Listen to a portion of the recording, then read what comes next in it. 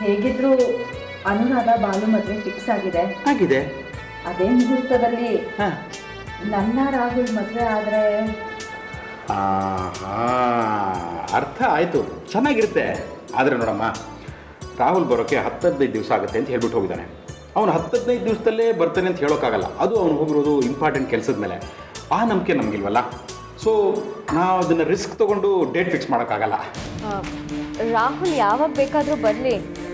ಬಾಲು ಅನುರಾಧ ಮದುವೆನೂ ಅವರು ಬಂದ ಟೈಮಲ್ಲೇ ಇಟ್ಕೊಂಡ್ರೆ ಸಮಸ್ಯೆ ಎಲ್ಲ ಸರಿ ಹೋಗುತ್ತೆ. ರಾಹುಲ್ ಯಾವತ್ತು ಬರ್ತಾನೆ ಅಂತ ನಮಗೆ ಗ್ಯಾರಂಟಿಯಾಗಿ ಗೊತ್ತಿಲ್ವಲ್ಲಮ್ಮ? ಹಾಗಂತ ನಾವು ಬಾಲು ಮದುವೆನ ಮುಂದೂಡೋದು ಹೇಗೆ? ಏನು ಅಂಕಲ್ ಹೀಗೆ ಹೇಳ್ತಿದ್ದೀರಾ? ರಾಹುಲ್ ಬರೋದೇ ಇಲ್ಲ ಅನ್ನೋ ಥರ ಮಾತಾಡ್ತಾ ಇದ್ದೀರಾ? ಅಜ್ಜು ನಮ್ಮ ರಾಹುಲ್ ಮುಂಬೈಗೆ ಹೋಗಿರೋದು ಕಂಪನಿ ಇಶ್ಯೂಸ್ನ ಸಾಲ್ವ್ ಮಾಡೋಕ್ಕೆ ಸುಮ್ಮನೆ ನಮ್ಮ ಸಮಾಧಾನಕ್ಕೆ ಹತ್ತನೈದು ದಿವಸ ಅಂತ ಹೇಳ್ಬಿಟ್ಟು ಹೋಗಿದ್ದಾನೆ ಆದರೆ ಆ ಇಶ್ಯೂ ಸಾಲ್ವ್ ಆಗಿ ಹೊರತು ಅವ್ನು ಬರೋನಲ್ಲ. ಹಾಗಾದರೆ ನನ್ನ ಮದುವೆ? ತಾಳಿ ಕಟ್ಟೋನು ರಾಹುಲ್ ಆಗಿರೋದ್ರಿಂದ ಅವ್ನು ಬರೋವರೆಗೂ ನೀನು ವೆಯ್ಟ್ ಮಾಡಲೇಬೇಕಮ್ಮ. ಅಂಕಲ್ ರಾಹುಲ್ಗೆ ಫೋನ್ ಮಾಡಿ ಬರೋದಕ್ಕೆ ಒತ್ತಾಯ ಮಾಡಿ. ಅಂಜಲಿ ದಯವಿಟ್ಟು ಪರಿಸ್ಥಿತಿನ ಅರ್ಥ ಮಾಡ್ಕೋ. ಅಂಕಲ್ ನೀವು ಪರಿಸ್ಥಿತಿನ ಅರ್ಥ ಮಾಡ್ಕೊಳ್ಳಿ. ದುಡ್ಡು ಯಾವಾಗ ಬೇಕಾದರೂ ಸಂಪಾದನೆ ಮಾಡಬಹುದು. ಆದರೆ ಮದುವೆನ ಮುಂದೂಡೋಕ್ಕಾಗೋದಿಲ್ಲ ಪ್ಲೀಸ್ ಅರ್ಥ ಮಾಡ್ಕೊಳ್ಳಿ ಅಂಕಲ್. ಕೆಲಸ ಮಾಡಮ್ಮ. ರಾಹುಲ್ಗೆ ನೀನೇ ಫೋನ್ ಮಾಡಿ ಬರೋಕೆ ಹೇಳು. ಅವನು ಬಂದು ಒಪ್ಕೊಂಡ್ರೆ ಮದುವೆ ಮಾಡೋಕೆ ನಮ್ದೇನೋ ಅಭ್ಯಂತರ ಇಲ್ಲ. ಅಂಕಲ್ ನನ್ನ ಪರವಾಗಿ ನೀವೇ ಯಾಕೆ ರಾಹುಲ್ ಒತ್ತಾಯ ಮಾಡಬಾರ್ದು? ಅಂಜಲಿ ನಿನ್ನ ಕಳವಳ ನನಗೆ ಅರ್ಥ ಆಗುತ್ತಮ್ಮ. ಹಾಗಂತ ನಾನು ಸಮಯ ಸಂದರ್ಭ ನೋಡಿ ರಾಹುಲ್ ಹತ್ರ ಈ ವಿಷಯನ ಪ್ರಸ್ತಾಪ ಮಾಡಿದೆ. ಸುಮ್ ಸುಮ್ಮನೆ ಅವ್ನಿಗೆ ಈ ವಿಷಯನ ಹೇಳೋಕ್ಕೂ ಆಗಲ್ಲ ಒತ್ತಾಯನೂ ಮಾಡೋಕ್ಕಾಗಲ್ಲ. ಅವನಿಗೆ ಹೋಗಿರೋದು ಬಿಸ್ನೆಸ್ ಕೆಲಸದ ಮೇಲೆ. ಇದಕ್ಕೆಲ್ಲ ಕಾರಣ ಯಾರು ಗೊತ್ತಾ? ನೀನು. ನಿಂದೇ ತಪ್ಪು. ನೀನು ಟೈಮಿಗೆ ಸರಿಯಾಗಿ ಮುಂಬೈ ಆಫೀಸ್ ಪೇಮೆಂಟ್ ಕ್ಲಿಯರ್ ಮಾಡಿದ್ದಿದ್ರೆ ಅವನಿಗೆ ಮುಂಬೈಗೆ ಹೋಗೋ ಸಂದರ್ಭನೇ ಬರ್ತಿರ್ಲಿಲ್ಲ. ಆದರೂ ಸ್ವಲ್ಪ ಅರ್ಥ ಮಾಡ್ಕೊಮ್ಮ ನೀನು? ನೋಡಿ ಅದಕ್ಕೆ ಅಂಕಲ್ಗೆ ನನ್ನ ಮದುವೆ ಬಗ್ಗೆ ಸ್ವಲ್ಪನೂ ಕಾಣಿಸಿಲ್ಲ. ನೀವಾದರೂ ಹೇಳಿ. ನಾನು ಏನು ಹೇಳಿ ಅಂಜು? ನಿಮ್ಮ ಅಂಕಲ್ ನನ್ನ ಮಾತು ಕೇಳ್ತಾರಾ? ರಾಹುಲ್ಗೆ ಏನಾದರೂ ಹೇಳಿದ್ರೆ ಕಂಪನಿ ವಿಷಯನ ಮಧ್ಯಕ್ಕೆ ತರ್ತಾನೆ. ನಾನು ಏನು ಮಾಡಲಿ ಅಂತ ನೀನೇ ಹೇಳು. ಅಂಜಲಿ ಅವರೇ ನೀವೇನು ಬೇಜಾರಾಗಬೇಡಿ. ನಾನು ಸರಿಯಾದ ಸಮಯ ನೋಡಿ ರಾಹುಲ್ ಹತ್ರ ಮಾತಾಡ್ತೀನಿ. ನಮ್ಮ ಮದುವೆ ನಿಮ್ಮ ಮದುವೆ ಒಟ್ಟಿಗೆ ಆಗುತ್ತೆ. ಓಕೆನಾ? ಏನಾಗುತ್ತೋ ಏನೋ.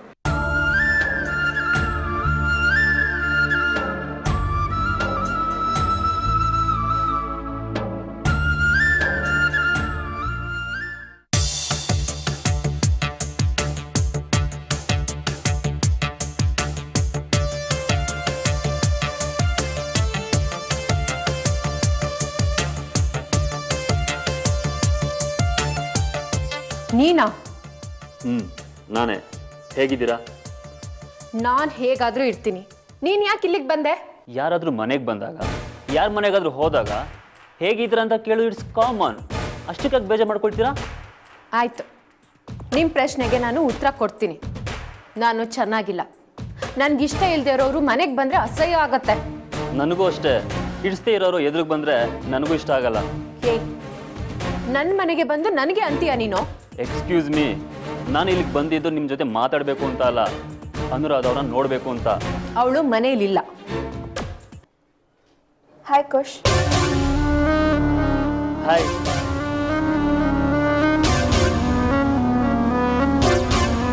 ಯಾವಾಗ ಬಂದ್ರಿ? ಹೀಗೆ ತಾನೇ ಬಂದೆ. ಬನ್ನಿ ಕುತ್ಕೊಂಡು ಮಾತಾಡ್ತೀನಿ.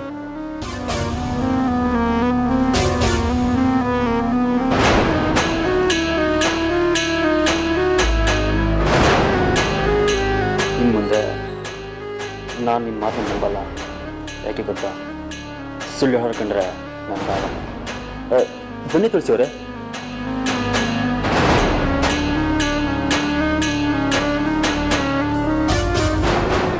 ಕೂತ್ಕೊಳ್ಳಿ. ತುಳಸಿ ಯಾಕಲ್ಲಿಗೋದೆ ಅಲ್ಲಿಗೆ ಹೋದೆ? ಬಾ ಕೂತ್ಕೋ. ಇಲ್ಲ ನನ್ಗೊಳಗಡೆ ಸ್ವಲ್ಪ ಕೆಲಸ ಇದೆ. ಆ ಕೆಲಸನ ಆಮೇಲೆ ಮಾಡಿದ್ರಾಯ್ತು ಈಗ ಕೂತ್ಕೋ ಬಾ.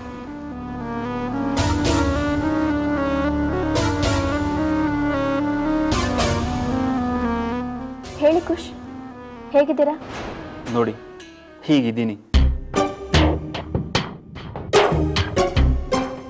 ಒಂದೊಂದು ಸಾರಿ ನೀವು ಮನಸ್ಸಿಗೆ ತುಂಬ ಹತ್ರ ಆಗ್ತಿದ್ರ ಅನಿಸ್ದಾಗ ಮನಸ್ಸಿಗೆ ತುಂಬ ಖುಷಿ ಆಗುತ್ತೆ. ದೂರ ಆಗ್ತಿದ್ದೀರಾ ಅನ್ಸಿದ್ರೆ ಪ್ರಪಂಚನೇ ಬೇಡ ಅನ್ಸುತ್ತೆ. ನನ್ನ ಜೀವನನೇ ನಿಮ್ಮ ಕೈಲಿಟ್ಟಿದ್ದೀನಿ. ಅದಕ್ಕೆ ಹೀಗೆಲ್ಲ ಆಗ್ತಿದೆ ನೋಡಿ ಖುಷ್ ನೀವು ಹಾಸ್ಪಿಟ್ಲಲ್ಲಿ ಇದ್ದಾಗ ನಾನು ಏನು ಹೇಳಿದ್ನೋ ಈಗ ಮತ್ತೆ ಅದನ್ನು ರಿಪೀಟ್ ಮಾಡಬೇಕಾಗಿದೆ. ನಾನು ನಿಮ್ಮ ಹೆಂಡತಿ ಆಗೋದಕ್ಕೆ ಸಾಧ್ಯ ಇಲ್ಲ. ಯಾಕೆ ಸಾಧ್ಯ ಇಲ್ಲ? ನೀವು ಮನ್ಸು ಮಾಡಿದ್ರೆ ಎಲ್ಲ ಸಾಧ್ಯ ಇದೆ. ನೀವು ಹಾಸ್ಪಿಟ್ಲಲ್ಲಿ ಒಂದು ಮಾತು ಹೇಳಿದ್ರಿ. ಮನೆಗೆ ಬನ್ನಿ ಮಾತಾಡೋಣ ಈ ಸಾಯೋ ಅಗತ್ಯ ಇಲ್ಲ ಅಂತ.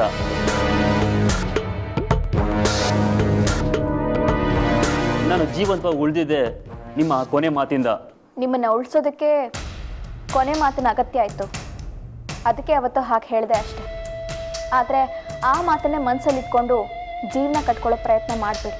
ಇಲ್ಲ ನೀವು ಹಾಸ್ಪಿಟ್ಲಲ್ಲಿ ಈ ರೀತಿ ಹೇಳಿರಲಿಲ್ಲ. ಹಾ ಹೌದು. ಆಗ ಹೇಳಿದ್ದು ನಿಮ್ಮ ಒಳ್ಳೇದಕ್ಕೆ. ಈಗಲೂ ನಾನು ಈ ರೀತಿ ಹೇಳ್ತಿರೋದು ನಿಮ್ಮ ಒಳ್ಳೇದಕ್ಕೆ ನೀವು ಹೇಳಿದ ಮೇಲೆ ನನಗೆ ಒಳ್ಳೇದಾಗುತ್ತೆ. ಅದು ಆಗಲೇಬೇಕು. ಒಳ್ಳೇದಾಗಬೇಕು ಅಂದರೆ ನಮ್ಮಿಬ್ಬರು ನಿಶ್ಚಿತಾರ್ಥ ಆಗಬೇಕು. ನಿಮಗೆಲ್ಲ ತಲೆ ಕೆಟ್ಟಿರ್ಬೇಕು. ಒಂದು ವಿಷಯ ಅರ್ಥ ಮಾಡ್ಕೊಳ್ಳಿ ಖುಷಿ ಜೀವನ ಅಂದರೆ ಬರೀ ನಿಶ್ಚಿತಾರ್ಥ ಮಾಡ್ಕೊಳ್ಳೋದ್ರಲ್ಲಿ ಮದುವೆ ಮಾಡ್ಕೊಳ್ಳೋದ್ರಲ್ಲಿ ಇಲ್ಲ. ಗಂಡ ಹೆಂಡತಿ ನಡುವೆ ಒಂದು ಸಣ್ಣ ವಿಚಾರಕ್ಕೆ ಜಗಳ ಆಗಿ ದೂರ ಆದ್ಮೇಲೆ ಗೊತ್ತಾಗುತ್ತೆ. ಇದಕ್ಕೋಸ್ಕರ ನಾನು ಅಷ್ಟೆಲ್ಲ ಗಲಾಟೆ ಮಾಡಿ ಮದುವೆ ಮಾಡ್ಕೋಬೇಕಾಗಿತ್ತ ಅಂತ. ದಯವಿಟ್ಟು ನೀವದಕ್ಕೆ ಅವಕಾಶ ಮಾಡ್ಕೋಬೇಡಿ ನೋಡಿ ಮುಂದೆ ಯಾರ ಜೀವನದಲ್ಲಿ ಏನಾಗುತ್ತೋ ಅಂತ ಗೊತ್ತಿಲ್ಲ. ಅದಕ್ಕೆ ನನಗೆ ನಿಮ್ಮನ್ನ ಮದುವೆ ಮಾಡ್ಕೊಳ್ಳೋ ವಿಷಯ ಬಿಟ್ಟು ಬೇರೆ ಏನು ತಲೆಯಲಿಲ್ಲ ನಿಮಗೆ ಯಾವ ರೀತಿ ಹೇಳಬೇಕು ಅಂತ ನನಗಂತೂ ಅರ್ಥ ಆಗ್ತಿಲ್ಲ.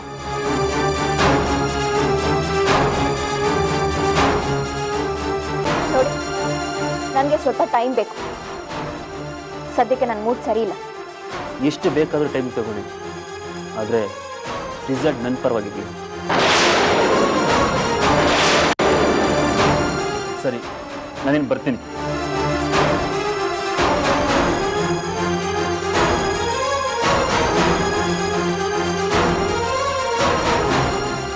ಏನನು ನೀನು? ಅಡ್ಗೋಡೆ ಮೇಲೆ ದೀಪ ಇಟ್ಟಾಗ ಮಾತಾಡೋದಿಯಲ್ಲ? ಎಲ್ಲ ವಿಷಯನೂ ಹೇಳ್ಬಿಡು ಅಂತ ನೀನು ಹೇಳಿರ್ಲಿಲ್ವಾ? ಛೇ! ತುಳಸಿ ಪ್ಲೀಸ್ ಒಂದು ಸ್ವಲ್ಪ ಹೊತ್ತು ನನ್ನನ್ನು ಒಂಟಿಯಾಗಿರೋದಕ್ಕೆ ಬಿಟ್ಬಿಡು.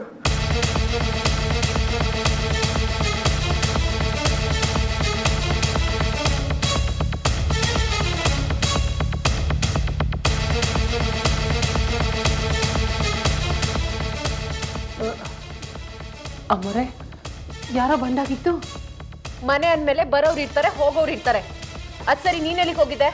ನಾನು ಹಾ ನಿನ್ಗೆ ಯಾವಾಗ್ಲೂ ಹೊರಗಡೆ ಕೆಲಸ ಇರುತ್ತೆ. ಏನಾದ್ರೂ ಒಂದ್ ತರದ್ ಇದ್ದೇ ಇರುತ್ತೆ. ಅಂತ ಕೆಲಸ ಏನ್ ನಿಂದು? ಯಾಕಮ್ಮೋರೆ ನಾ ಏನಾರ ತಪ್ಪು ಮಾಡಿದ್ನಾ?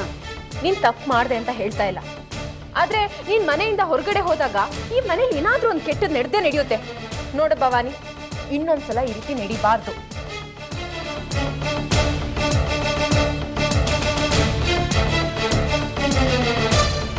ಯಾರೋ ಮನೆಗೆ ಬಂದು ಹೋಗಿದ್ದಾರೆ ಇವಳಿಗೆ ಟೆಂಪರ್ ರೈಸ್ ಆಗಿದೆ. ಕೈಗೆ ಸಿಕ್ಕಿದ್ದು ನಾನು.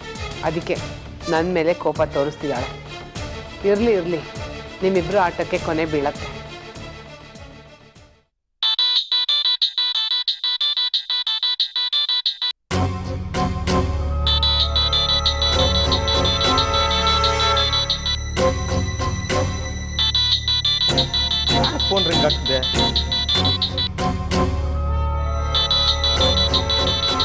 ಅಂಜಲಿ ಫೋನ್ ಬಿಟ್ಟು ಎಲ್ಲಿ ಹೋಗಿದ್ದಾಳೆ?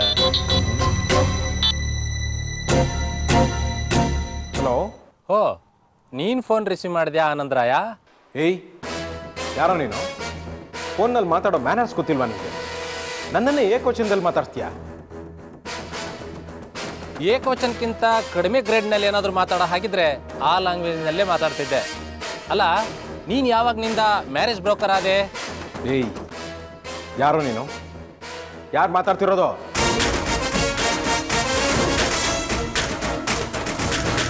ಏಯ್ ಮೊದಲು ಅನುರಾಧಗೂ ಬಾಲುಗೂ ಮದುವೆ ಮಾಡೋದಕ್ಕೆ ನೀನು ಯಾವನೋ?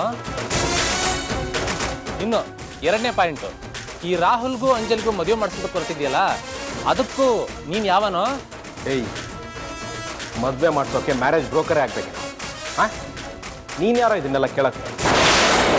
ಮದುವೆ ಮಾಡಿಸೋಕೆ ಒಬ್ಬ ಹಿರಿಯಾಗಿದ್ರೆ ಸಾಕು. ಮದುವೆ ಮಾಡಿಸೋ ಒಳ್ಳೆ ಮನ್ಸಿದ್ರೆ ಸಾಕು. ನಾನು ಅದೇ ನಿನ್ನ ಪಾಲಿನ ಆಪತ್ತು. ನಾನು ಯಾರು ಗೊತ್ತೇನೋ? ಆಪತ್ತುಗಳನ್ನ ನನ್ನ ಕಾಲ್ ಕೆಳಗೆ ಹೊಸ್ಕ ಹಾಕೋನು. ತುಂಬ ಮಾತಾಡ್ತೀಯ ನೀನು. ಹೌದು. ಇಷ್ಟೊತ್ತು ನೀನು ತುಂಬಾನೇ ಮಾತಾಡಿದ್ಯಾ? ನಾನು ಇಷ್ಟೊತ್ತವರೆಗೂ ನಿನ್ನ ಹತ್ರ ಮಾತಾಡ್ತಿದ್ನಲ್ಲ ಅದು ನಿನ್ನ ಅದೃಷ್ಟ ಅಂತ. ಏಯ್ ನಿನ್ನ ಅದೃಷ್ಟ ಕೆಟ್ಟಿದೆ. ಅದನ್ನ ಅರ್ಥ ಮಾಡ್ಕೊಳ್ದೆ ನನ್ನ ಅದೃಷ್ಟದ ಬಗ್ಗೆ ಮಾತಾಡ್ತೀಯಾ? ಏಯ್ ನನ್ನ ಅದೃಷ್ಟನ ಸರಿ ಮಾಡ್ಕೊಳ್ಳೋದು ನನಗೆ ಗೊತ್ತು. ನಿನ್ನ ಅದೃಷ್ಟನ ಕೆಡಿಸೋದು ನನಗೆ ಗೊತ್ತು. ಜಾಸ್ತಿ ಮಾತಬೇಡ ಯಾರು ನೀನು? ಯಾಕೆ ಫೋನ್ ಮಾಡಿದ್ಯಾ? ಅದನ್ನು ಹೇಳು.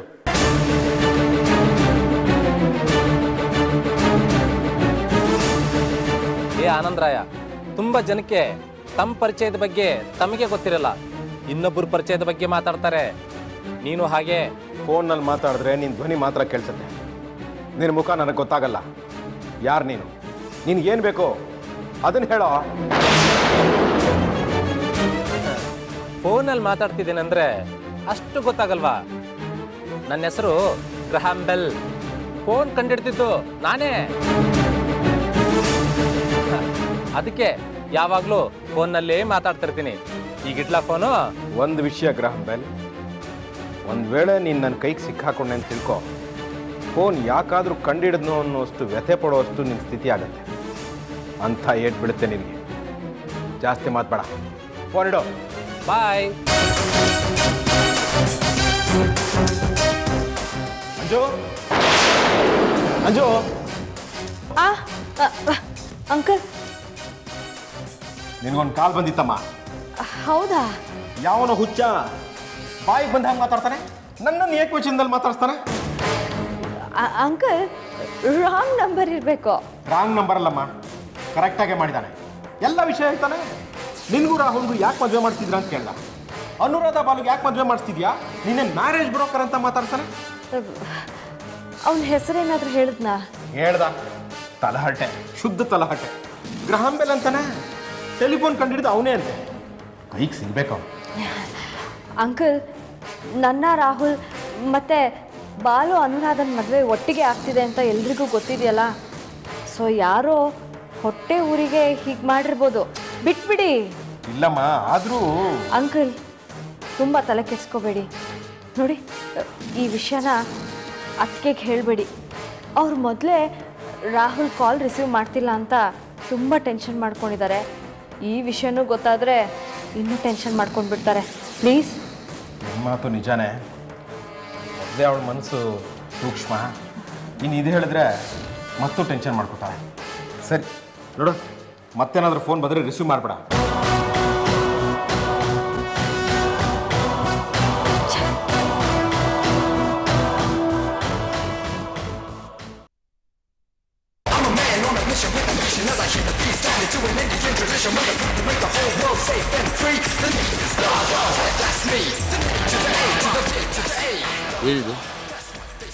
ದುಡ್ಡು.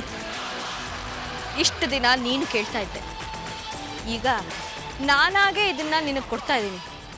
ಆದರೆ ನೀನು ನನ್ನನ್ನು ಆ ಫೋಟೋ ಮತ್ತು ಫೋನ್ ಟೆನ್ಷನಿಂದ ಪಾರ್ ಮಾಡಬೇಕು. ನೀನು ಎಷ್ಟು ಕೇಳ್ತೀಯ ಅಷ್ಟು ದುಡ್ಡು ಕೊಡ್ತೀನಿ ಆದಿ. ನಿನ್ನ ಎತ್ತರಕ್ಕೆ ದುಡ್ಡು ಸುರಿತೀನಿ. ಆದರೆ ನನ್ನನ್ನು ನೀನು ಈ ಟೆನ್ಷನಿಂದ ಪಾರ್ ಮಾಡಬೇಕು. ಅಷ್ಟೇ. ತಗೋ. ಆಹಾ, ಇದಲ್ವಾ ಅದೃಷ್ಟ ಅಂದರೆ? ಬೇಡ ಬೇಡ ಅಂದ್ರು ಲಕ್ಷ್ಮಿ ಜಾಡ್ಸ್ ಒದ್ಕೊಂಡು ನನ್ನ ಕಾಲ ಹತ್ರ ಬಂದು ಬೀಳ್ತಿದ್ದಾಳೆ. ದುಡ್ಡು ಕಳಿಯೋದೊಂದು ಕಾಲ ಆದರೆ ದುಡ್ಡು ತಾನಾಗೆ ಬಂದು ಕಾಲು ಬೂಳೋಕೆ ಬೀಳೋದು ಒಂದು ಕಾಲ. ನಡೀಲಿ ನಡೀಲಿ.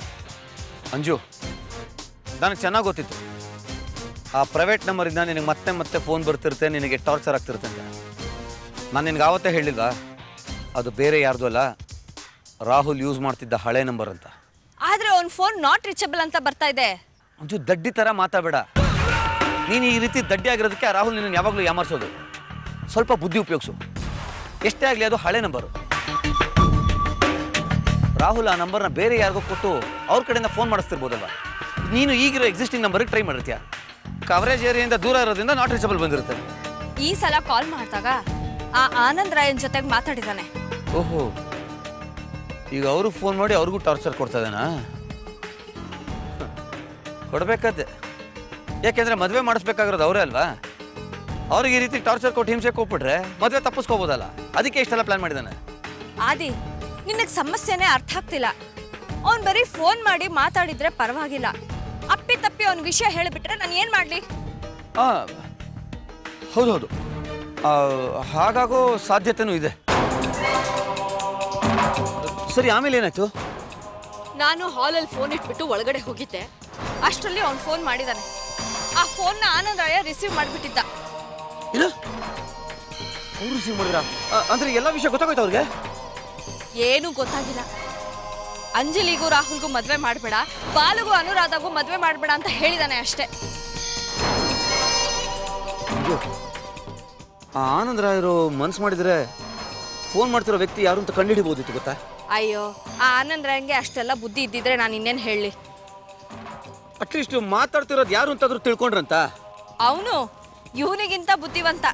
ನೀನು ಯಾರು ಅಂತ ಕೇಳಿದ್ರೆ ನಾನು ಗ್ರಹಂಬಲ್ಲು ಈ ಫೋನ್ನ ಕಂಡು ಹಿಡ್ದವನು ನಾನೇ ಅಂತ ಹೇಳ್ತಾನೆ.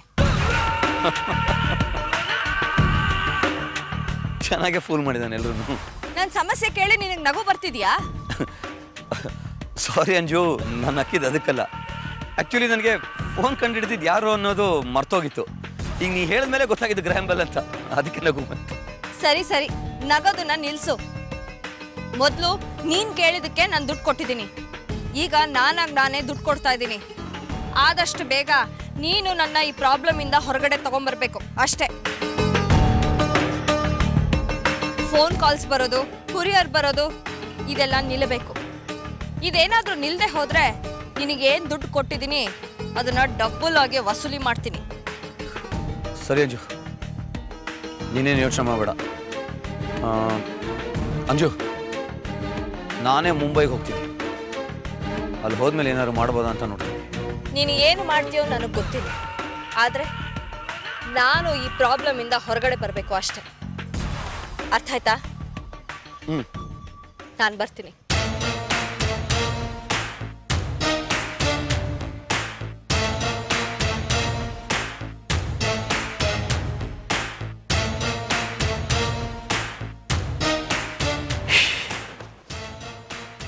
ಅಂಜು, ಸಮಸ್ಯೆಗಳು ಅಷ್ಟು ಬೇಗ ಬಗೆಹರಿದು ಬಿಟ್ರೆ ನಿನ್ನಂಥವ್ರು ನನ್ನಂಥವ್ರಿಗೆ ದುಡ್ಡು ಕೊಡೋದನ್ನ ನಿಲ್ಲಿಸ್ಬಿಡ್ತೀನಿ. ಅದು ಬೇಗ ಬಗೆಹರಿಬಾರ್ದು. ಅದು ಅಲ್ಲದೆ ನೀನು ನನ್ನ ಪಾಲಿಗೆ ಚಿನ್ನದ ಮೊಟ್ಟೆ ಇಡೋ ಕೋಳಿ. ಇಷ್ಟು ಬೇಗ ನಾನು ನಿನ್ನನ್ನು ಕಳ್ಕೊತೀನಿ. ಹಾಂ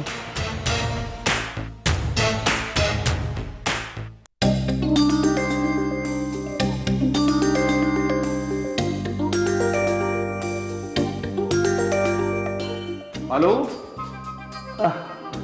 ಹೇಳಿ. ಏನಪ್ಪ ಸಮಾಚಾರ? ಸಮಾಚಾರ ಏನಿದೆ? ದಿನ ಮನೇಲೇ ಇರ್ತೀನಿ. ನಿಮ್ಮ ಜೊತೆನೇ ಮಾತಾಡ್ತಿರ್ತೀನಲ್ಲ.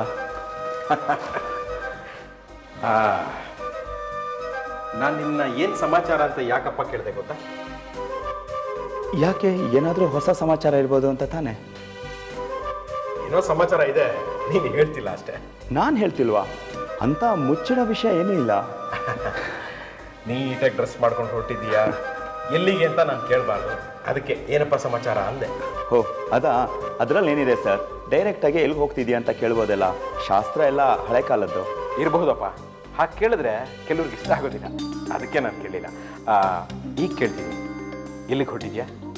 ಇನ್ನೆಲ್ಲಿಗೆ ಅನುರಾಧ ಜೊತೆ ಸುತ್ತಾಡ್ಕೊಂಬರೋಣ ಅಂತ ಹೋಗ್ತಾ ಇದ್ದೀನಿ. ಅನುರಾಧ ಅವ್ರ ಜೊತೆ ಸುತ್ತಾಡ್ಕೊಂಬರೋಕ? ಮದುವೆ ಹತ್ರ ಬಂತು.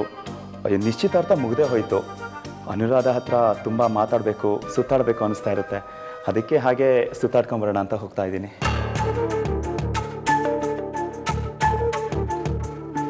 ಏನಪ್ಪ ಮಾಡೋದು? ಯಾವುದೋ ಒಂದು ಥ್ರೆಟ್ನಿಂಗ್ ಕಾಲ್ ಬೇರೆ ಬಂದಿತ್ತು. ಮದುವೆ ಟೈಮ್ನಲ್ಲಿ ಇವನ್ನ ಹೀಗೆ ಹೊರಗಡೆ ಓಡಾಡೋಕೆ ಬಿಟ್ಟರೆ ನಾಳೆ ಏನಾದರೂ ಹೆಚ್ಚು ಕಡಿಮೆ ಆಗಿ ರಾಹುಲ್ ಕೇಳಿದ್ರೆ ಏನು ಉತ್ತರ ಕೊಡಲಿ ನಾನು? Sir I am getting late ನಾನು ಹೋಗಿ ಬರ್ತೀನಿ. ಒಂದು ನಿಮಿಷಪ್ಪ ನನಗೆ ಯಾಕೋ ನೀನು ಅನುರಾಧ ಅವ್ರನ್ನ ಮೀಟ್ ಮಾಡೋದು ಅಷ್ಟು ಸರಿ ಕಾಣಿಸ್ತಿಲ್ಲ. ಬೇಡ. ಯಾಕೆ ಸರ್? ವಾಟ್ ಹ್ಯಾಪನ್ ನಾನು ಅನುರಾಧ ಮೀಟ್ ಮಾಡಿದ್ರೆ ಏನು ತಪ್ಪು? ಅವಳನ್ನ ನುಡ್ಬಿ. ಆದರೂ ಮದುವೆ ಮುಂಚೆ ಇದೆಲ್ಲ ಬೇಡಪ್ಪ ಅಂತ. ರೀ ಯಾಕೆ ಬಾಲೂನ್ ಹೋಗ್ಬೇಡ ಅಂತ ಹಿಂಸೆ ಇಡ್ತಿದ್ದೀರಾ? ಎಂಗೇಜ್ಮೆಂಟ್ ಆಗಿದೆ. ಹೋಗಿ ಮಾತಾಡ್ಸ್ಕೊಂಡ್ ಬರಲಿ ಬಿಡಿ. ಮದುವೆ ಮುಂಚೆ ಅದೆಲ್ಲ ಏನು ಚೆನ್ನಾಗಿರುತ್ತೆ ಮಹಾಲಕ್ಷ್ಮಿ? ಸಾಕು ಸುಮ್ಮನೆ ಇರಿ. ನಮ್ಮ ಮದುವೆ ಫಿಕ್ಸ್ ಆದಂಗೆ ನೀವು ಸುಮ್ಮನಿದ್ರಾ ಫೋನ್ ಮಾಡಿ ಮಾಡಿ ಹೊರಗಡೆ ಹೋಗೋಣ ಬಾ ಅಂತ ಹಿಂಸೆ ಕೊಡ್ತಿರ್ಲಿಲ್ವಾ? ಮದುವೆ ಅನ್ನೋದು ಫಿಕ್ಸ್ ಆದಮೇಲೆ ಎಲ್ರಿಗೂ ಹೊರಗಡೆ ಓಡಾಡಬೇಕು ಅಂತ ಆಸೆ ಇರುತ್ತೆ. ಹೋಗಿ ಬರಲಿ ಬಿಡಿ. ಹಾಗಲ್ಲ ಮಹಾಲಕ್ಷ್ಮಿ. ಹೊರಗಡೆ ವಾತಾವರಣ ಸರಿ ಇಲ್ಲ. ಮದುವೆ ಬೇರೆ ಹತ್ರ ಬರ್ತಾ ಇದೆ. ನಾಳೆ ಏನಾದರೂ ಹೆಚ್ಚು ಕಡಿಮೆ ಆದರೆ ಯಾರು ಜವಾಬ್ದಾರರು? ಅದಕ್ಕೆ ಹಾಗಂದೆ.